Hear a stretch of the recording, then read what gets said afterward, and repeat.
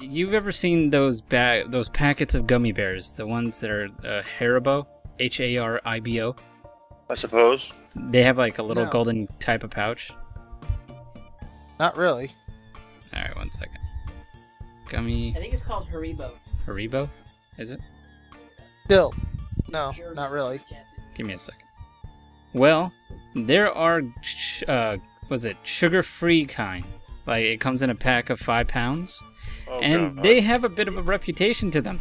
If you haven't uh, known about it. No? Oh yeah. Me. I'm gonna show you a bunch. I'm gonna read off a couple reviews. Tell me, tell me what you think. If it's uh, willing to buy it, if you're willing to buy it.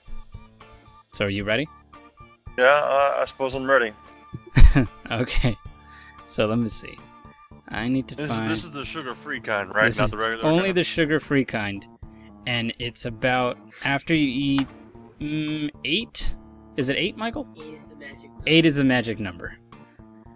All right, we'll start. We'll start a little slow here. So this one is from Lori Oberempt. This is January 26, 2014. So I quote: "I laughed in the face of these reviews. Surely they could not be as bad as everyone has claimed." So, being a total gummy bear lover, I purchased a five pound bag of these innocent little chewy candies. They were delivered on Wednesday. I had a handful that evening. I kept waiting for the effects to kick in, and nothing. I was impervious to the sugarless gummy bear effect.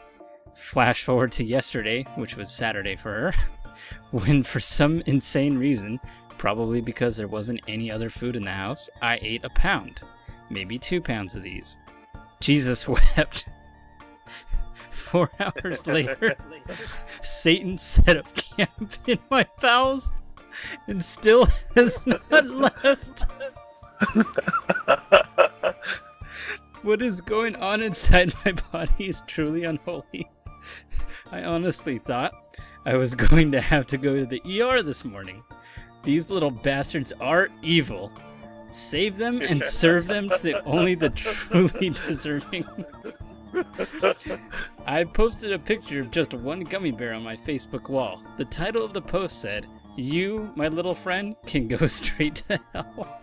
I am certain that is where they originated from. Oh. Okay. That's a good kick. Uh, what, what is it? Appetizer? Let me find a different one. This one's called Hey. The End Times by Joji. G. I'm good. All right. So here it goes.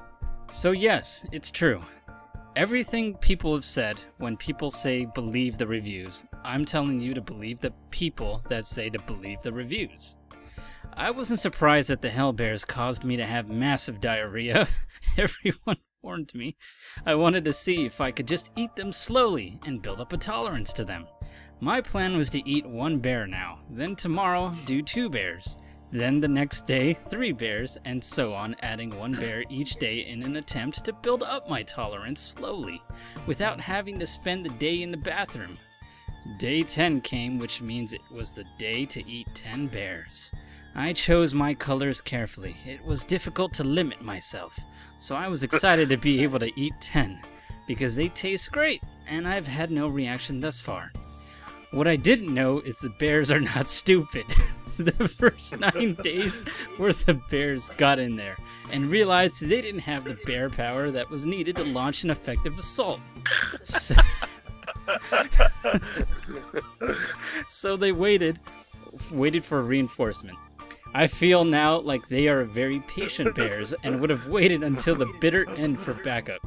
Well, day 10 brought them a healthy batch of 10 new recruits, which means that since day 1, I have now had 55 bears in my stomach, which I guess is sufficient for them to finally launch the attack. The attack started with a few pop shots to the gut. not big deal, not a big deal. I figured tomorrow I'll go back to 5 bears and slow down my approach to immunity. My new goal meant very little to the bears that were already committed to the mass mass scale invasion that so many others have spoken about. What others fail to mention is that after 15 minutes on the toilet, your leg falls asleep, and about 5 minutes after that, cramping settles in. So now you are faced with unbearable leg cramps, but you know standing up is going to paint the wall brown.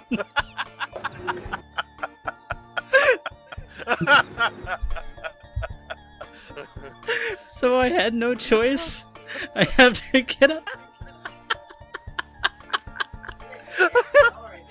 You can't between Ted's laughing and mine. It's so hard to read these. yeah. Oh shit.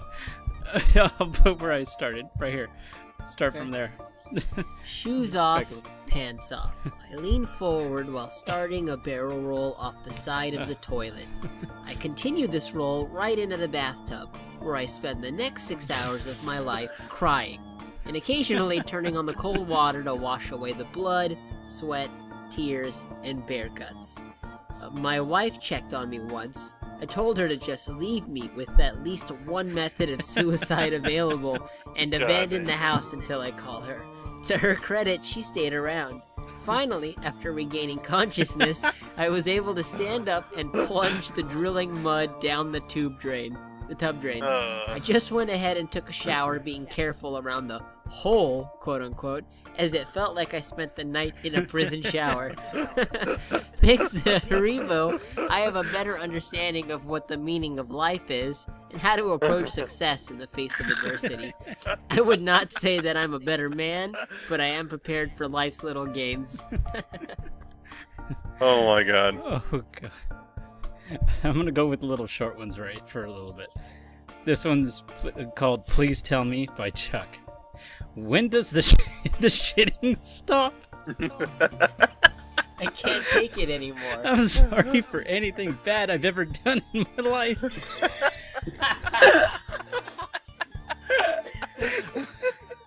oh my god. the next one. Okay, just by the name of this one, Ted. Alright, so this one's called Do Not Use for Birthday Parties Unless You Want to Oh, Redecorate the House. Fucking hell.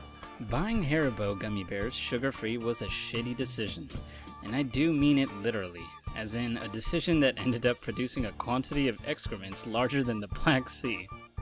Well, at first, the taste is comparable to the original gummy bears, which is nice. I have to stick to this memory because the rest of the user experience pretty much depleted me of all willingness to continue living. So I was preparing my five year old son's birthday party, which is why I had bought gummy bears, Oh, or as I should call it now, the mother of all gummy bombs, M O A G B. Open can- opening candy bags, I picked randomly from one or the other, little knowing that one of these innocent pickings would send me on the ride of my life on Big Pooper Mountain.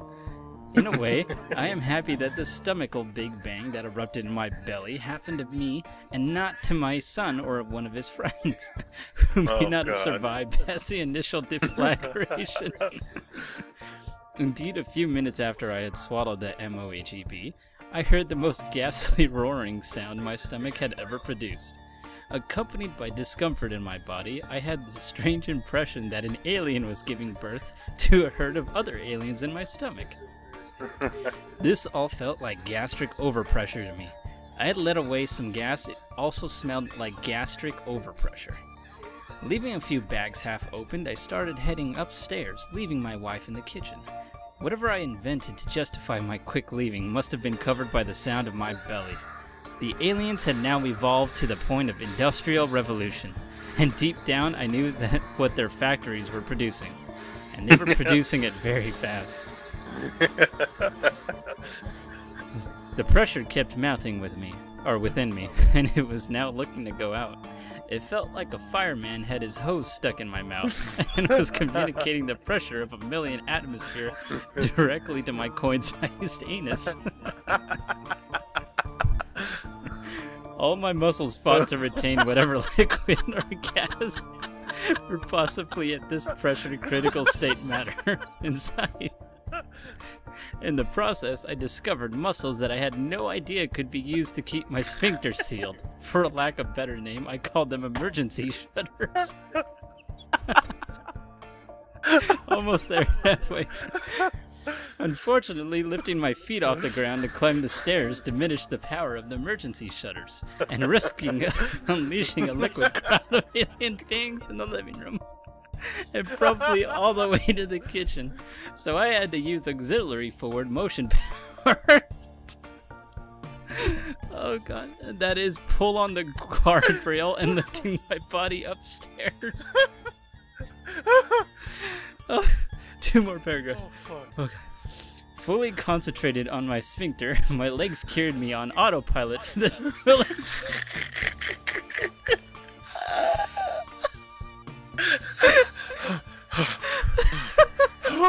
Keep going. You gotta. You must go on, Frodo. You must. Oh my god. carried me on autopilot to the toilet seat, barely closing the door. And why, God, why make this small creature explore the toilet bowl at that moment? What evil things had this poor soul done to deserve the avalanche of alien waste that I laid on it at this very moment? Forgive me, but I could not hold it any longer. 10,000 elephants were blowing in my bowels to expel whatever city of horrors had been created within me. Oh, for minutes untold, it felt like the entirety of my inner self was dissolving and decaying inside me, resulting in the unspeakable brown lava that fused at hypersonic speed from my behind, almost lifting me up, and the stench almost unbearable and unbreathable, despite record low levels of self esteem. It must have kept the children out of the house, maybe out of the garden too, because I heard them playing outside in the rain, crying.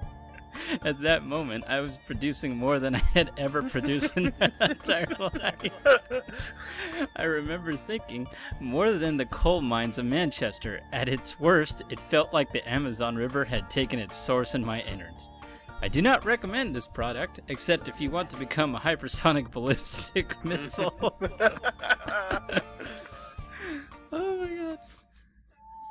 Oh.